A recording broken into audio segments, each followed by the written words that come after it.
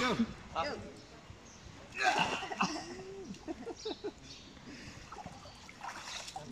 Right, drop him in. Right, drop him in. Let him. Alright, gonna catch it, No. It'll be like the One, ten five no. Two, three.